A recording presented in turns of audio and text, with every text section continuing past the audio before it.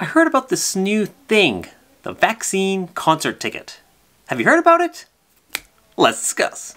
What's up guys, welcome back. My name's Shrez here on Thumbs Up Run where we talk about buying tickets, selling tickets to make sure that you have all the fun with your tickets. Today we're talking all about the introduction of the vaccine concert ticket. I want to talk about how it all came to be, what led up to this, what is the actual ticket itself, and then finally, what does it all mean and is it really, you know, does it really make sense? So strap in, let's get started because it's gonna be a good one.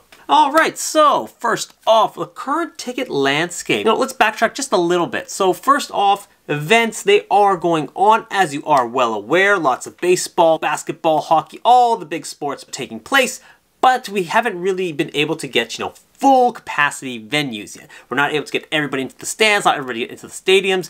So it is, you know, it's not quite the same experience, but we're, we're working our way, we're working our way up there. What happens at these specific events? Well, one, like I said, you have limited capacity seating. That's number one can't get a full venue, so, you know, people are still, you know, spaced out. They're six, eight feet apart, and they're different pods, kind of pushed all over the place. If you want to learn more about pods, I actually have a video, you can go ahead take a look up here. However, these seats, though, they're just kind of all spaced across the entire venue, about 20 to 30% of capacity, and that's uh, that's kind of how we're, we're keeping things safe. You know, everybody who goes in, depending on the state or venue, you might have to do a questionnaire or do a screening, something along those lines before you can actually get into that event. Last thing, most of these events as well require you to have a mask on, you know, again, protecting yourself, protecting others, keeping all the people safe.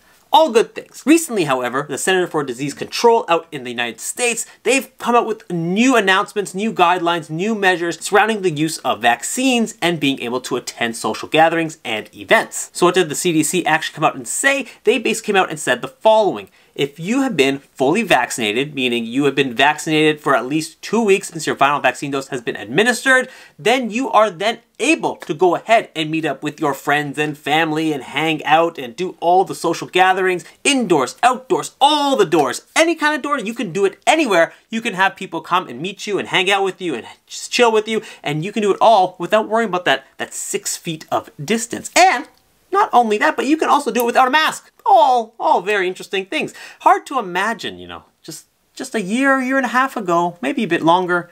It's been since uh, you've you've you've you've given that that high five. Still nothing.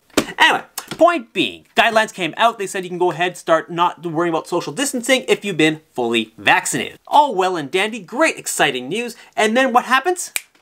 Tickets. They they they adjust instantly. Because the second that a venue decides that, you know, we can expand the amount of seats we're allowed to sell, why wouldn't they? And that is exactly what happened. The MLB, they just recently announced that they're going ahead with opening up fully vaccinated seating sections. If you are fully vaccinated, that does mean a two week period between when you received your final vaccine shot and when the event takes place. So if you got that shot done yesterday, you can't get into the event tomorrow, you still gotta wait that two week buffer. But what does it all mean? First off, in its most simplest form, no social distance requirements at all. You can go in, they're gonna sell the entire section, seats all beside each other, everyone's butt to butt, hand to hand, screaming, shouting, yelling, screaming into each other's faces, all that good stuff happening, all in a closed space, all together. I will admit that does sound a little bit scary, but if you've all been vaccinated, perhaps the risk is very, very minimal or very, very low.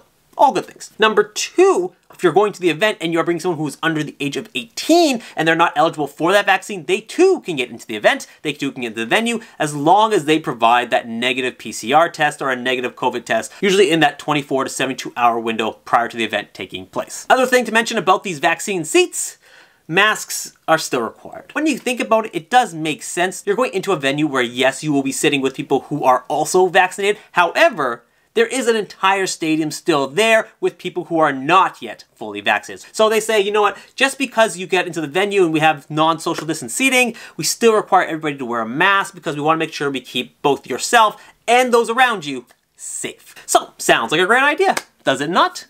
One might think so, but one might also not. We'll get there in a second. But first, there's a few more intricacies surrounding these types of tickets. First off, there are many venues, many teams, many locations where these types of tickets are non-transferable. So again, if you are fully vaccinated and all your attendees are fully vaccinated, all of you need to come to the event together, go into the event together, sit together, do everything together because those tickets, they can't be moved between one person to another. They are tied to your account. So remember, if you're buying these tickets, many teams, they won't allow you to sell them or transfer them to anybody else. So if you are buying them to resell, double check because the Cubs, the Dodgers, many other teams, they are not allowing the resale or transfer of these MLB tickets. That's not to say all teams are the same though. Toronto Blue Jays, they are currently open for transfer. Other teams, same idea. However, double check, make sure that you can, you know, you're paying attention to what the transferability rules are because again, you don't want to be ending up in a situation where you have tickets which you can't use anymore because you're sick, you're not feeling well, you don't want to go anymore, and then you can't sell them. Because then, worst case scenario, you're out a bunch of money, you can't move the tickets, you're just just stuck, and then that kind of defeats the whole, you know, having fun aspect of the things. And then the last thing MLB is doing with these vaccinated seating sections, they're offering, you know, discounts and free tickets and free beer and free everything, all the free stuff. Basically, they're trying to, again, encourage people to start getting vaccinations done so that they can go ahead and, you know, hopefully open their venues to full, full capacity. That's what the goal is for everybody, get things back to normal, whatever that normal is. Uh, and to do that, they require, you know, a certain level of, of vaccinations, potentially to, to reach that goal. But then it begs the final question.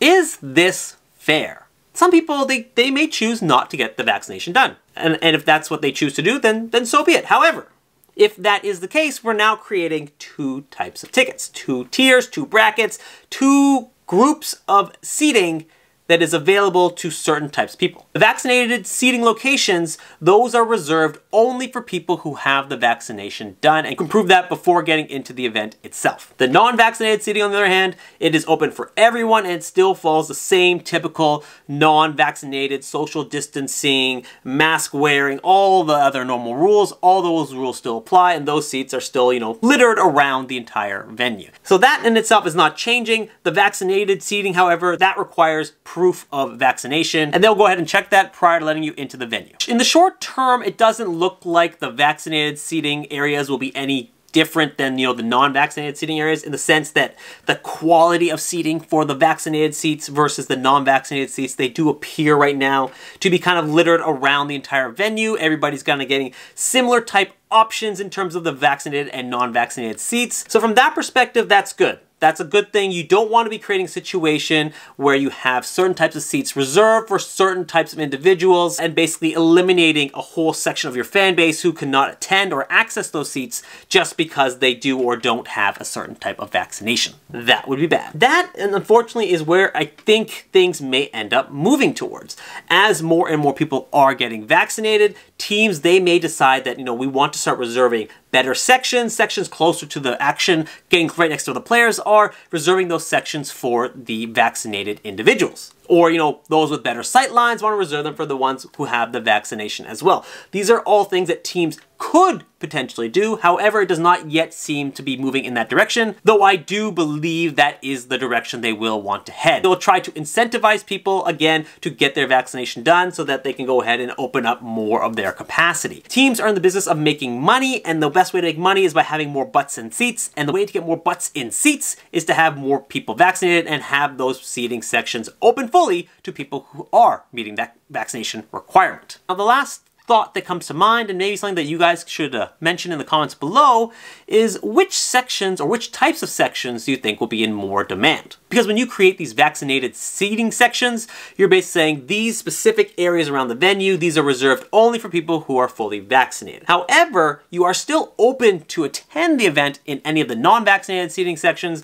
and those, again, are all over the venue. Personally, I think the non-vaccinated seating sections, the social distance sections, I still think those would command a higher premium over the vaccinated sections. Just a supply issue because there's so many more tickets in the vaccinated sections. I just, I can't see those selling as quite as fast. But, you know, on the other hand, there could still be a lot of people who do want to go sit with their friends and family and all have a great time sitting next to each other there. So, hard to say. But I am curious to know what you guys think. So let me know in the comments down below which one you think would sell faster. That's all we got for today though, so if you enjoyed this video, definitely let me know by hitting the like button down below. Also, be sure to subscribe if you haven't already. Great new content coming out every single week. And see you guys next time.